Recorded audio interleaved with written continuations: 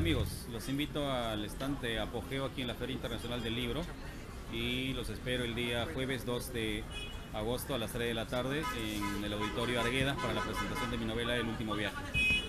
Aquí con Álvaro. Los esperamos el día jueves 2 de agosto y vengan acá al estante Apogeo.